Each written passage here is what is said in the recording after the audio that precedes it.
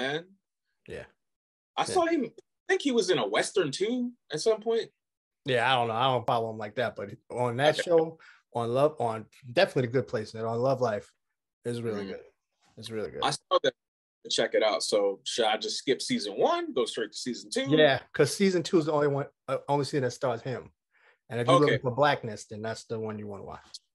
Gotcha. And you don't need to watch season one in order to watch season two. Okay, so it's kind of like Fargo.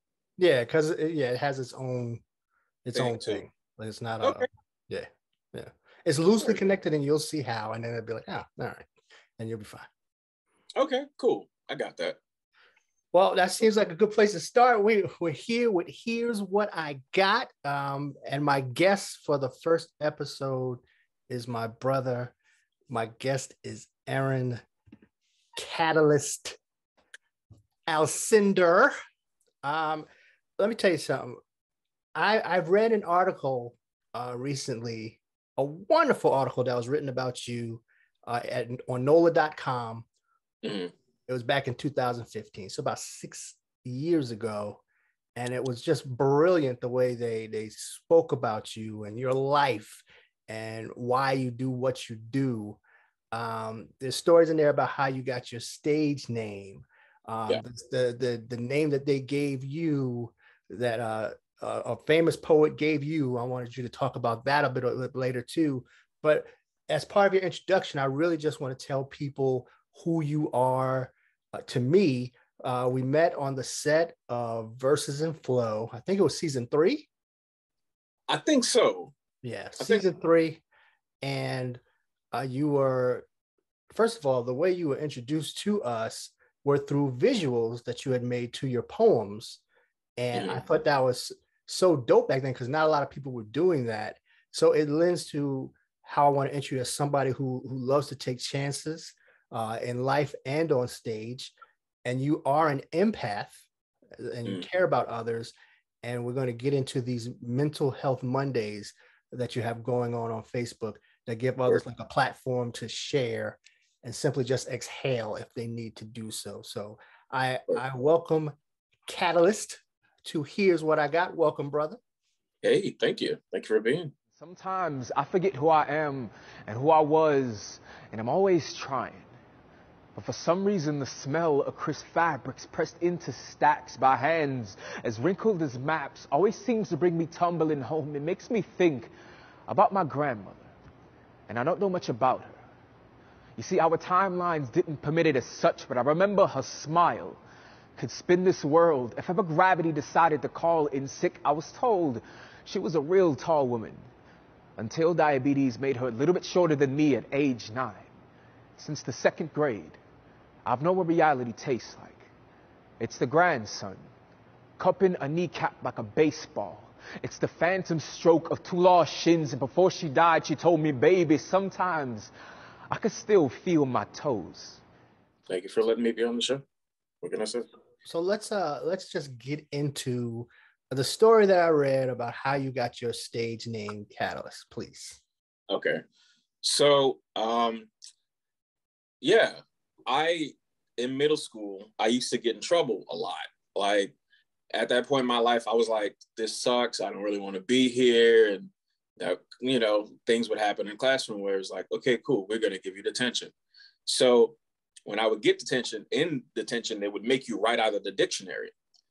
And I I love reading. Like I still love reading. I was very voracious with my reading. So I was like, the thing that would make us do is like, okay, start with A and you go with aardvark and you would have to write the definition of that and that and that.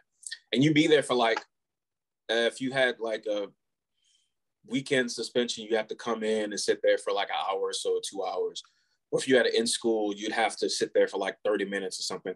And I I gotten to a point where I was just like, I'm not writing this. This is ridiculous. I was just starting to read the dictionary. And so I just kept reading and finding words I really enjoyed. And I saw the word catalyst and I really was like, I like this. I'm to keep this. And I just kept it in my brain for as long as I had. And uh, throughout time, of course, you know, you graduate, you go to a different school, you graduate that. And then uh, you start figuring out what you want to do. And I remember I was starting, I was starting to date and there was this woman I was seeing, and she was like, "You you always writing in that notebook. You should probably read that stuff." And I was like, "I don't really know."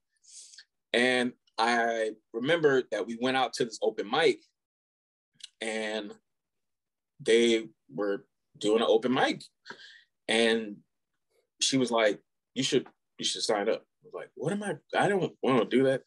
And she ended up putting my name on the list, and she spelled she spelled it the way that is my my actual name. And I was like, well, if I go up there, I don't want to use my real name, do something else. And she was like, okay, what do you want to do? And so I remember that word, and I just was like, there, there you go. And so I instead of spelling it with a C, I spelled it with a K. But then I saw that, you know, people, you could Google that and be like, oh, there's catalyst this and catalyst that. And I was like, well, why don't I put two A's? And I was thinking about it and I was like, like the, the person that really got me into reading and writing and becoming the person that I really wanted to be was my mother. And so I decided to put the two A's in my name as a memory for her because her name was Agatha Alcindor. So from there, I just put the double A and we were just off to the races. And that's how I got my name. So you did all this that first night that you got on stage? Well, over time. Well, I started with the original, and then I saw that somebody else was trying to do that. So I was like, how can I differentiate myself? So by the next time I went up there, which wasn't like I went up and I spent like every night I I would go, but I would never really perform. I just went for the first night and I got really nervous, but then I got the bug. And then I started to just kind of like lay back and see how do you do this thing? So by the time that I went up again, I had decided, yeah, I should probably use that. So yeah, I'd say maybe the second or second or third time. So for those who, when you when you talk about open mic, he, he, he is a poet. He is a spoken word artist, and so that was kind of like his origin story, uh, mm-hmm. saying the things that were in your notebook. And so, do you remember the first poem you said on stage? No, no. Wow. Um, I knew that it was very like black driven. I think the name of it was black, and it talked about the beauty of things that are that color and how does that impact certain people. But yeah, I, I think it was just like that. And I had a piece of paper and my hands were shaking, like trembling. And but if I could, I couldn't recall the, the, the full poem, but yeah, I think it was related to just like the color black and the denseness and the meanings of all of what does that mean to be. Uh, in the in the article that I read uh, mm-hmm. on NOLA.com, that there were so many people that they spoke to for the article that just talked about how amazing you were in that moment. Um, using the music and, and using everything around you to get your words out and get your points across. So I'm really curious. You're you were there, but how did you find your voice? How did you find your your way of spoke of doing spoken word? Um observation, honestly. Like I remember growing up in a black Baptist church and then seeing my pastor and being like, that's cool. I don't really agree with what y'all saying, but I like the way that you say it. And then, you know, you grew up on James Brown. Like my dad would play these artists that were really like bombastic. They would really be like in your face. And so when I saw that, I was like, wow, that dude really knows how to put on a show, or that dude really knows what to say, what on his what's on his mind, you know. And you grow up and you hear like Michael Jackson's bad. And it, it's not like, you know, the Jackson Five. This is like rock star Michael. Like I'm mad. Here's why. Michael. And I saw that as a kid too and was like, that's a black man? like, because at that point you didn't know Mike was black. But you were wrong for that. I mean, come on, man. Let's be real. But he he had a way of saying things and doing things. And I really love that style at first. Like and of course, when I went to the open mics, I would see poets that were just leaps and bounds beyond what I was trying to do. I had no idea about like stage presence at the time or just kind of like taking the temperature of the room or figuring out what you want to say before you say it. It was just, I want to say this thing and I want attention. But the more I watched and observed these different poets get up there night after night, I started to realize that there is a way of saying things and doing things and speaking to people that you have to take account of for you to be a really good artist. And I, I, just was so blessed to be in the city of New Orleans at the time where there was so many artists that were just like, yeah, we do spoken word and we do this for a living and we care about our community. And that really impacted the way that I am today and the poet that I'm still trying to be. Yeah, and that blends right into what I was going to say next because those poets uh, in the city of New Orleans, where you are from, um, they grew to to love your presence and your words. And, and one artist, uh, Sunni Patterson, very uh, famous poet, uh, she said that Kataalyst is kind of like a quiet storm in a martial arts movie, he would be like those little pinpoints that are deadly. I like that about him, that he's not a yeller.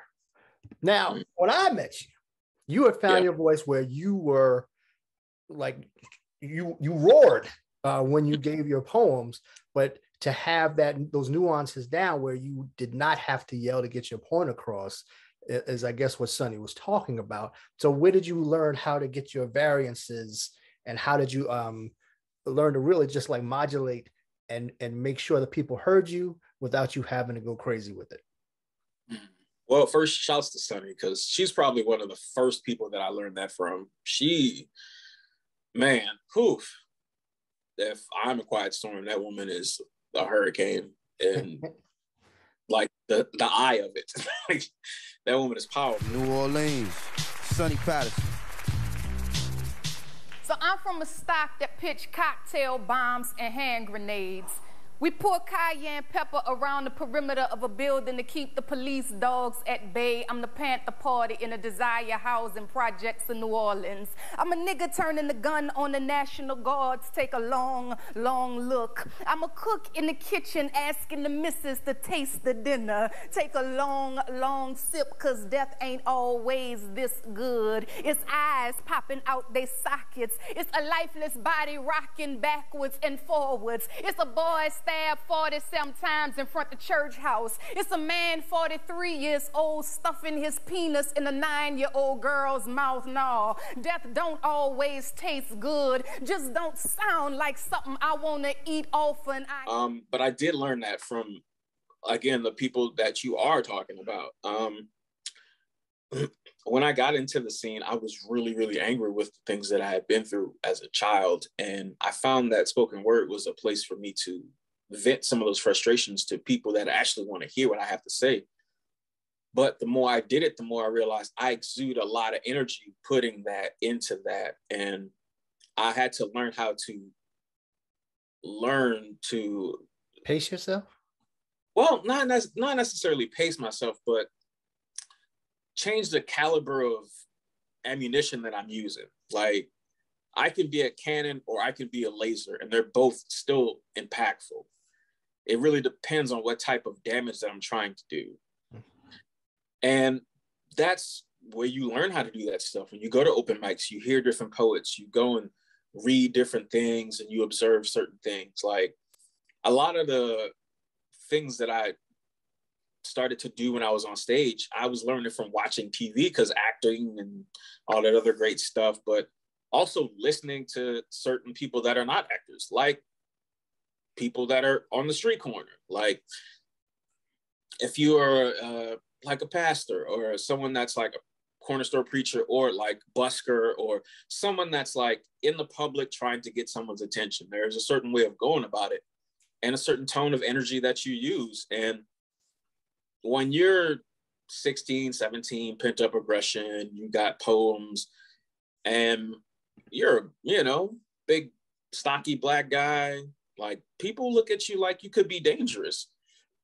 And it's important to one appear not dangerous um, to certain friend random people, but also to get your point across because you do need to be taken seriously and do be looked at as a human and not just some beast that they think you are. Like I think half of what I do comes down to the appearance of not being violent, but also speaking about something that is I care about deeply.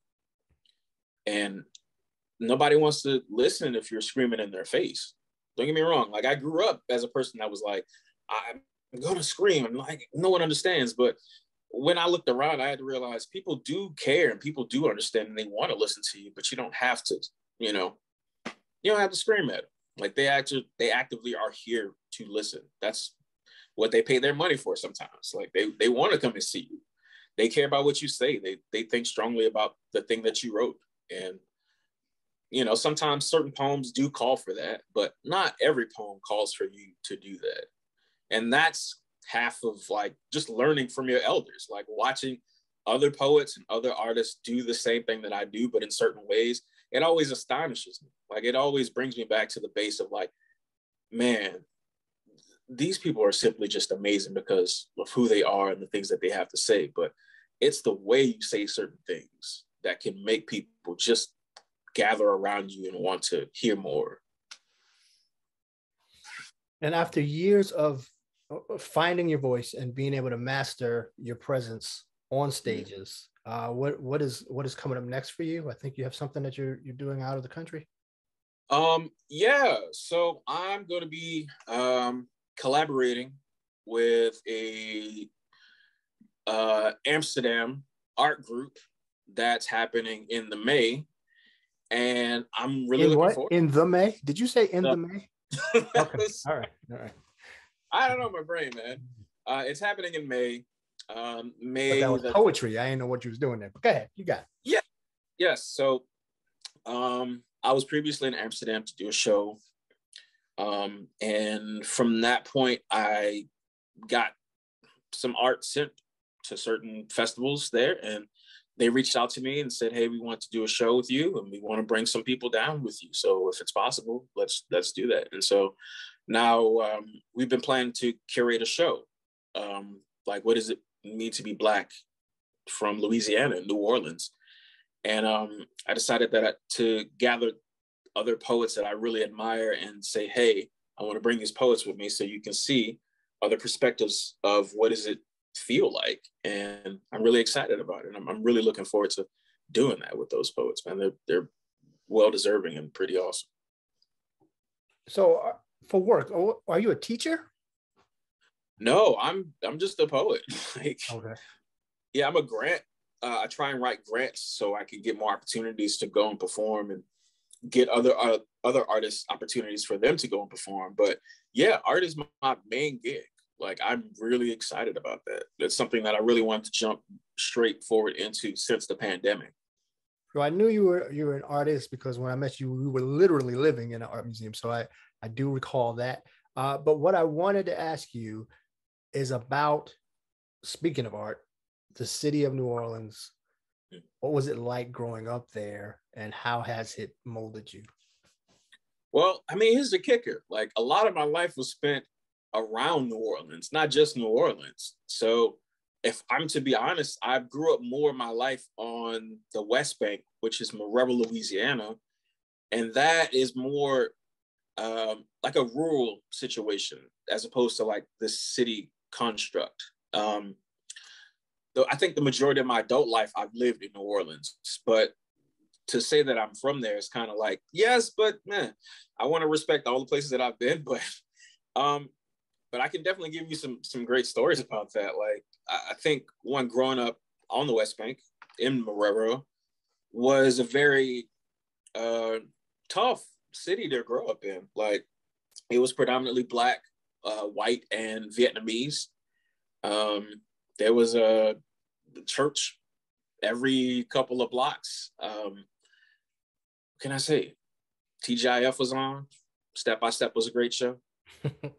um, um, but it was really tough, man. There was a lot of drugs. There, there were definitely a lot of uh, violence. I remember there was a. This might be too much, but like, there was a moment where we were doing a sleepover with our neighbors, uh, the boys. We all came uh, came over to the house, and we were like playing Larry versus uh, Jordan on Sega Genesis and stuff, and there was uh, some kind of situation happening outside we didn't know about, and then all of a sudden, I remember we ran to the kitchen for something, and there were police outside. We were like, "What is going on?" So we were like, "Hey, mom, something's going on outside." And she went out there and was like, "There was someone dead outside by our Uh, like our, our, our mailbox."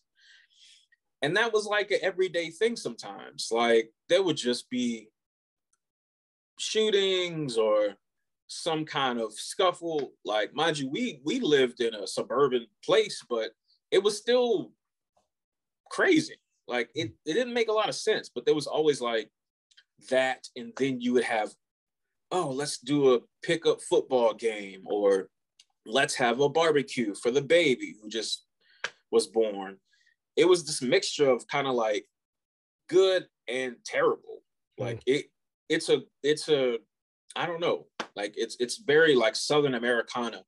Like we grew up not far from this black cowboy who had his stables in the woods that was like three blocks away. And it wasn't like crazy, but it was something that was definitely not traditionally, I I guess like what you would think when you think New Orleans. It, it would definitely be some like, this is some Southern shit. I wouldn't say it's country, but it's definitely some Southern something. It's weird. Like it's Cadillacs and, and like dudes with boots on and gold teeth. Okay. yeah, like cowboy boots. yeah. It was, yeah, it was like, okay, this is different. it's like a southern rodeo situation. I don't know how to describe it. So, how did that inform who you became? Um, it's a really good question. I, I guess it was just about the community that I grew up with, the parents that I had, and the family that I was raised in. Um, a lot of those are Southern Baptist people. You know, both of my parents had like dope cars. Like they, my mom used to have this white Mustang before we were even born, and my dad had like a white uh Lincoln, like a stretched Lincoln, but he was a cab driver, so it was orange. So I, I think it was just both of them had a some kind of style about them that they knew that they were strongly independent people who were never forgetting that they were black but they also had this thing about them where they were just like yes we are black but we're also people. So we need to care about other people that's just not black. We need to care about people just in general. And they stood up for themselves and they gave people this opportunity to prove themselves. Redemption stories here and there and like family really mattered. And it i don't know it just gave me this understanding about okay believe what you you need to believe to be the person that you really are trying to be um so you what i love about your poetry is that it, it, always feels like it's it's grounded in family uh, grounded in history, uh, grounded in in stories about that family and about that history. Uh, there was, and I don't know if this was a poem or not, but I know one time you said you told a story about your father in a cat in the cab. Uh, yeah. Do you remember that? Share that. Oh, please. yeah, I think yeah, because we were writing that thing. Um, oh man, I'm trying to pull it up. I'm trying to figure it out in my brain. I got a lot of stories about my dad and his cab, but I'm I'm trying to figure out which particular one that you're trying to trying to find. Um, I remember he really cared about that cab because it was something that he was prideful of, mind you. Um, I think we take for granted a lot of people that just do jobs that aren't so glorious. Like my mother was a secretary, my father was a cab driver, and it it meant a lot because this was way before the time of like Google Maps and like any of that like like Lyft, Uber, any of that. And he really was a man that was like, I know where to get to, how to get there, at what time to get there. And it's pretty rare nowadays. He he was someone that also served for his country, but he really was an independent thinker. He always wanted to do his own thing. And that cab was something that he really embodied. Like he really was just like, look, I may work for this company, but I make this company work for me.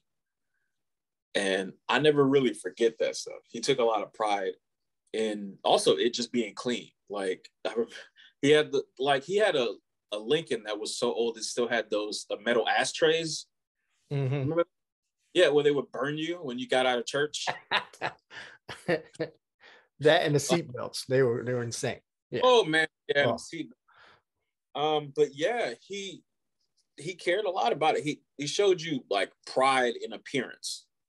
Like he he really was always making sure that his clients felt comfortable because he was him and the car was nice and people feel good about that. Like when you take pride in what you're presenting, it's something that I carry with me, especially when I put I try and put it in my poems where I put a lot of work into it because I know there's a lot of details that if you glance over it, you might miss, but they're they're polished for a reason. Mhm. Yeah. And I want them to be admired because I cared a lot about this. All right, I got two more names for you. I'm going to throw out there, and I want you to tell me the first thing you think about when you think about these names. You ready? Ready? Agatha, go. Ooh. Uh ooh, purple for sure. Um oof. Um abundance. Uh there's this goddess named Yemaya who is like the mother of many fish. And when I think about that goddess, I always think about my mom because she was always a mother to people that needed a mother. Like she was my cousin's mama before they she was my mama and she worked at a high school that was full of kids that would always call her uh, grandma agatha or mama agatha and uh, i feel like if she was still alive she'd still be working even though she shouldn't but yeah that's what i think when i think about that word All right, next name. Yep. Errol, go. errol oh jesus christ um stubborn uh, Twin brother, twin brother. Let's get that out. Go ahead. That's twin brother. Um, stubborn for sure. Um, caring, but oh man, like knuckleheaded. Uh, stylish. Um, yeah, man, and I think just a just a overall strong-hearted man, good guy, but man, oof, sometimes. yeah. so you were just coming of age when when Katrina hit. You were probably like 17, 16, 17, 18, around that age. Yeah. Yeah, wow. Um, it back. I need a drink now. and Oof. and there were there's this one poem that you might be most known for, or it got a lot of run. It's called Greater Than Hurricanes. Yes. It's a tribute to the city of New Orleans and how it bounced back from that that hurricane Katrina, but also it could apply for what happened, you know, in 2021. So Yeah. tell me what went through your mind when you were putting that poem together. Um, bet, yeah. So I was currently with a uh, company called uh, evacuteer.org. So they are, and I, I believe they're still existing. They are a volunteer company, uh, nonprofit, who accept and train local New Orleanian residents to help other New Orleanian residents to evacuate the city of New Orleans in the event of a hurricane. And when they decided that they wanted to do something like create an event for it, they reached out to me and said, Hey, you're a poet. I know that you work for us, but can you create something for this event? And I looked at that as a perfect opportunity to create this poem that I've been thinking about because I believe that a lot of poems are just tributes to people and places. And I've never really heard something like, oh, here's a big grandiose thing. But I remember growing up in cities like New Orleans and then seeing poets and being like, this city has a lot of pride to it. And we need to document both sides of just being in the city. Um, and of course, growing up in spoken word open mics, I heard poets write about this city and then trying to use what they've been through to create art. And being from uh, the West Bank in Marrero, but living in New Orleans is like a big, it's like a like a sibling rivalry thing. And I, I said I wanted to put that stuff to the side, but I wanted to give an honest take on what it is to be in a city that's kind of like living in a circus. Like things just never turn off here sometimes. We do have 24 hour things, um, and the events are plenty. Um, and I wanted to document just the grittiness of the city, how the perseverance of the city is, and acknowledge that the city is going to survive in the near and, and always present future. Um, and I'm I'm just grateful that it they got the opportunity to be filmed and put on somewhere. Um, yeah, and from that point, I've been rocking with this poem. Like there was an event that happened for evacuteer.org. They had me on stage. I wrote the poem and uh, read the poem, excuse me. And I, I, it was always a thing that I'm like, okay, now I have to keep this in my brain for the rest of my life. so are there parts that you you kind of like a ad lib now, or do you remember the whole poem? Well, yeah, I remember the whole poem, but I remember being in a point where I remember this was two different things. Like I remember the first part of the city, uh, the first part of the poem that I wrote was supposed to be in a whole different poem. And I saw the second part coming because we have Mardi Gras. And I wanted to specifically write stuff about Mardi Gras in this poem. So I just kind of waited for it to happen so I can experience Mardi Gras like as a as a person. And of course, growing up here, you get to experience Mardi Gras anyway, and you know, any given time. But there's something about being in the city while Mardi Gras is happening, so you can get visual things of like, okay, I should put this in here. Okay, that thing's happening, and yeah, that's that's kind of how it how it started. And from that point, again, like I have to keep this in my brain. We are not idle warships with punctured sails and windless lungs. We are anchors, standing on our toes when the tide comes rushing back to crack us in the chest. I'm from a city full of Saturday night sinners and Sunday morning saints, and I'm here to tell you, our Indian dances don't bring no rain. These hands have mixed mortar and played taps in the same day. We do not fear water. We no longer fear death and refuse to be scared by the whispers of a maelstrom. And even though you can't see through our umbrellas, Know that we're smiling on the other side. In a city where we celebrated all. We gather here tonight toasting the ending of a season, laying to rest the fears of another knock at our doorstep, remembering to raise our glasses in honor of all the once living angels, never to forget the reason why we chose to rebuild the city that America forgot.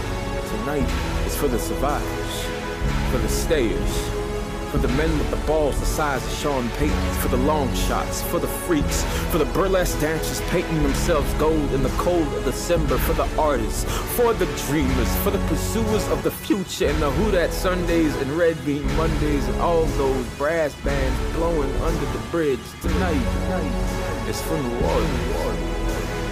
Tonight, tonight, it's for you.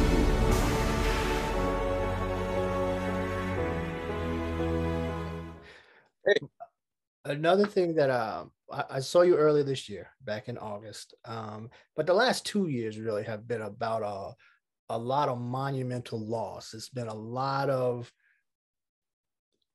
there's been a need for us to be mentally strong in order to get through everything that's happened because it's stuff that we have never experienced before. You know, me personally, just yeah. since August, have gone through a lot uh, of loss, like my mom last year, a baby cousin, uh, one of my really close friends, uh, like my brother. So there's so much loss, and what I what I've loved since the pandemic started is how you on Facebook have put together the mental health Mondays, checking in on people because you just never know what people are going through. Uh, just tell the audience what has been to the response to that and what made you think of doing it. So the response has been surprisingly like big. I I didn't know that it was going to be a thing like this. I remember seeing it being like that's a cool thing. I should probably start doing that. And then I think it was just for me a way for me to to also check in with my own mental health. Like I'm a person that struggles with PTSD. And for for me, I always have to remind myself that yeah, this thing that you went through, you're not really going through it right now, but you still have lasting um, residual effects of that, and it's important to always acknowledge that because it helps figure out your feelings.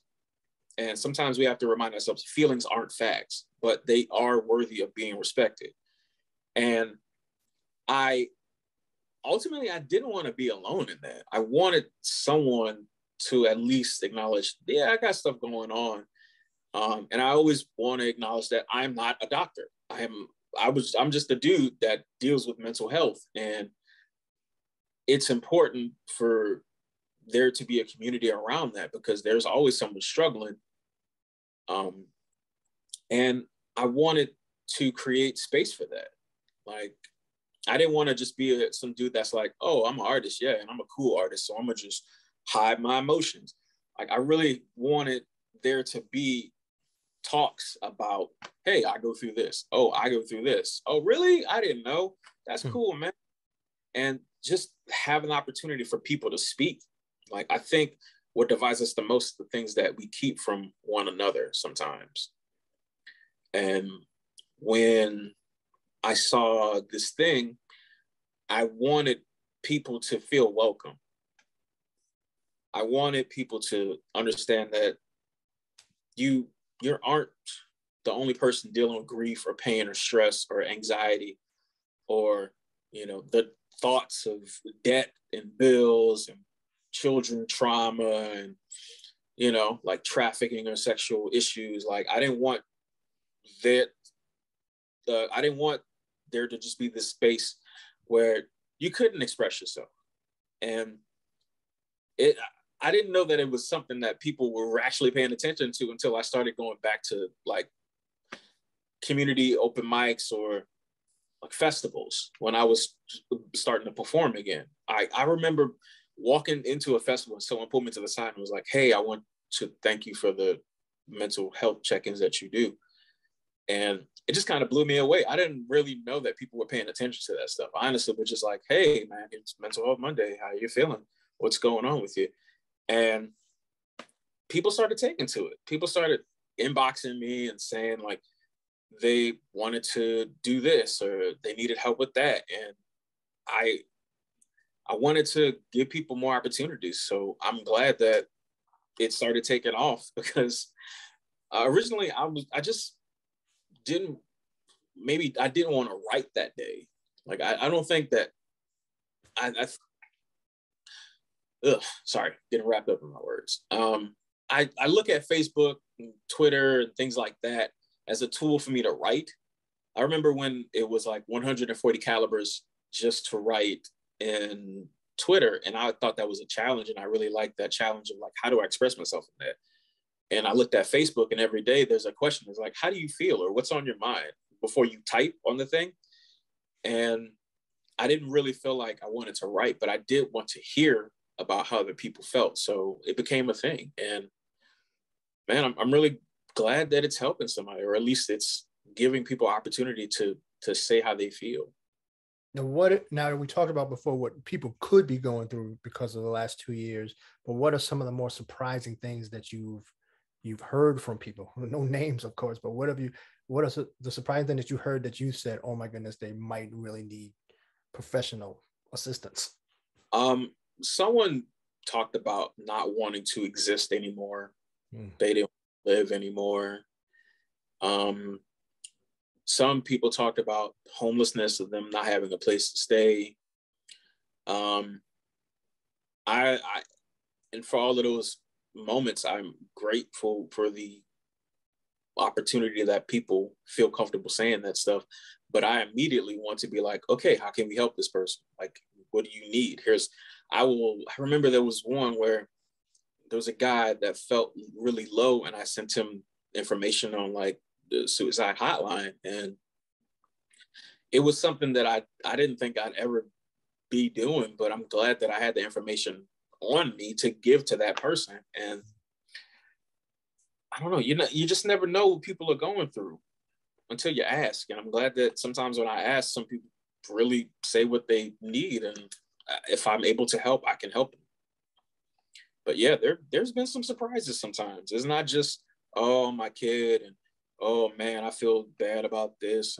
Like sometimes people really, if you give them a shoulder, they will use it, and I'm glad that people can use it. But you know, you never know. Sometimes it, it can be drastic.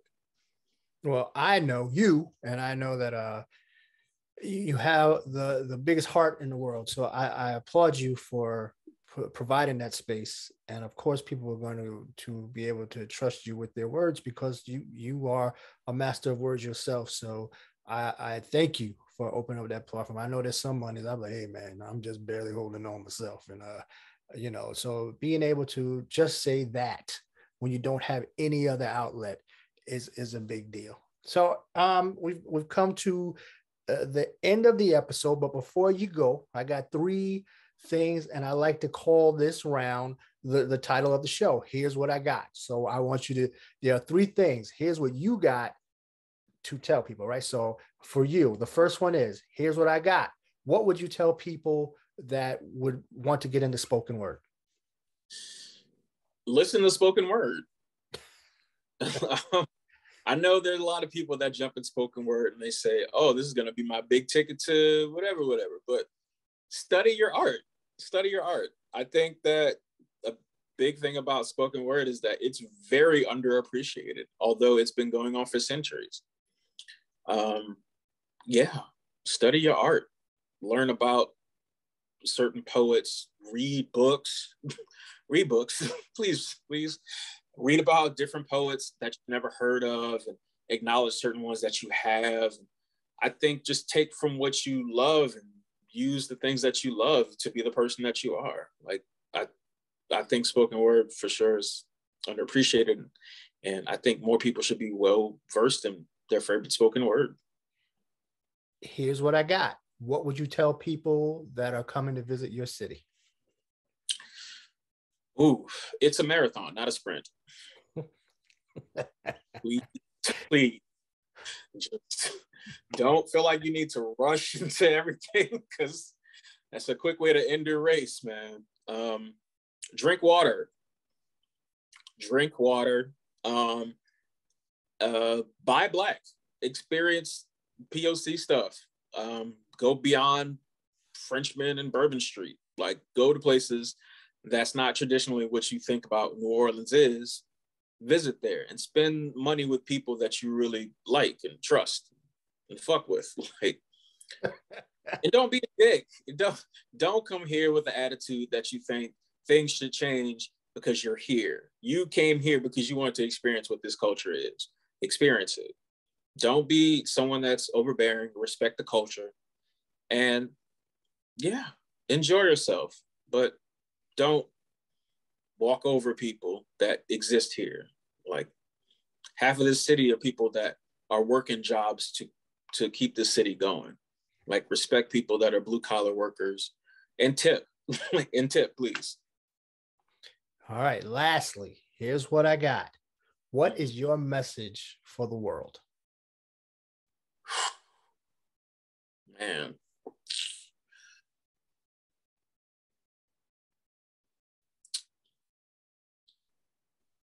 That's a big one, man.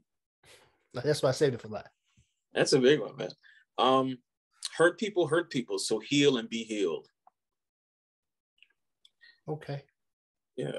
Acknowledge mistakes and faults. Realize that no one's perfect and take everything with a grain of salt. Um, Unless you got high blood pressure, because then you don't want to do that. You, got high blood pressure. lay off, lay off the MS. Too much, you know. Too much um, acknowledge acknowledge how you feel and respect people who are still just trying to be the best person that they can be and also attempt to be the best person that you can be like a c is still passing mm-hmm. you don't have to always try and get a's but definitely try and do better than f's yeah. aaron Kataalyst Alcindor the two a's in Kataalyst are his mama name so you better remember that when you come to new orleans you you you take your time, drink water, but go see this man perform if you can. I will put up his YouTube link so you could just just see what a force he is. He is a quiet storm, uh, as they call him in the city uh, that he lives in presently. Um, you have grown into a great man. So I Thank you for giving us what you got today. And I appreciate your time, brother. Of course. All right.